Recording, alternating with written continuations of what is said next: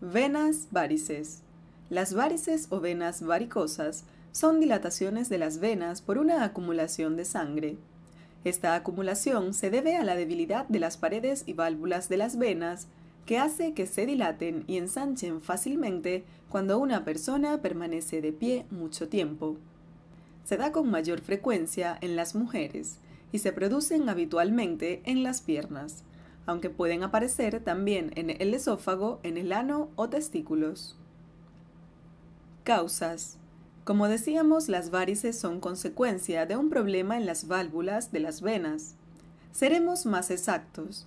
Los seres humanos estamos en posición erguida, por lo tanto, las venas transportan la sangre sin oxígeno hasta el corazón, por donde tiene que pasar para redistribuirse. Esto hace que el cuerpo tenga que subir la sangre desde las distintas partes del cuerpo hasta el corazón. Para que pueda ascender y no se devuelva por efecto de la gravedad, las venas tienen unas válvulas que lo evitan. Si estas válvulas se ven afectadas, la sangre puede acumularse en las venas dilatándolas. Por este motivo, la zona de las piernas es la que se ve afectada con mayor frecuencia. Tipos. Las varices las podemos clasificar en cuatro grados. Conforme vamos subiendo de grado, aumenta la gravedad del padecimiento.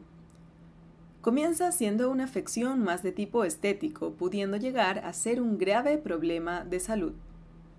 El grado o tipo 1 son las más leves. También son denominadas arañas vasculares.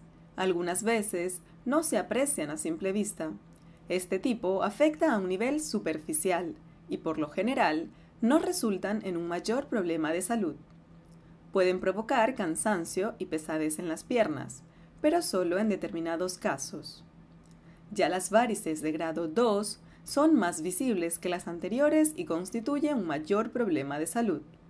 Además de esto, se puede empezar a sentir en mayor medida dolor, pesadez, cansancio, calambres y hormigueo en las piernas.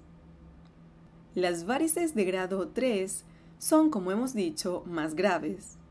La hinchazón de las venas es mayor y viene acompañado de un mayor dolor y edemas. Las válvulas de las venas presentan un fallo más acusado.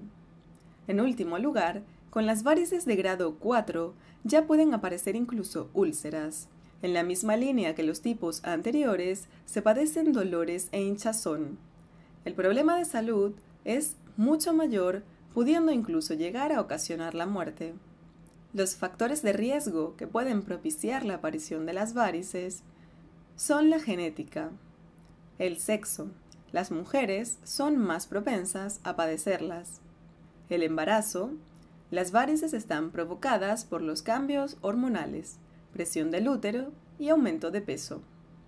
La edad, a medida que aumenta la edad, aumenta el riesgo. La obesidad duplica el riesgo de padecer varices. Con el sobrepeso aumenta la demanda de sangre a la vez que se ejerce una mayor presión en las piernas. También hay determinados trabajos que exigen estar de pie durante mucho tiempo. Esto provoca una mayor sobrecarga en las piernas que hace que el sistema de retorno sanguíneo tenga mayor trabajo. Tal y como hemos indicado, en los tipos de varices los síntomas de las mismas incluyen pesadez, cansancio, dolor, hinchazón, calambres, sensación de hormigueo y de calor en las piernas. Esto sucede en mayor o menor medida según el grado del padecimiento.